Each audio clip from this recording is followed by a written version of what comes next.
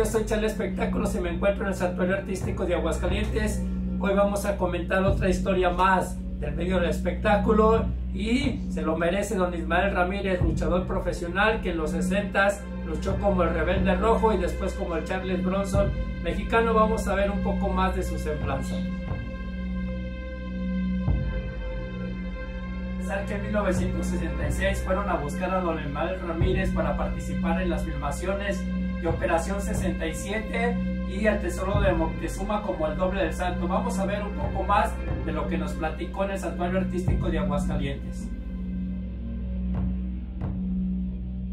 Reconocimiento y deseo que siga progresando con su iniciación de, de lugares que tan bonitos que ha hecho y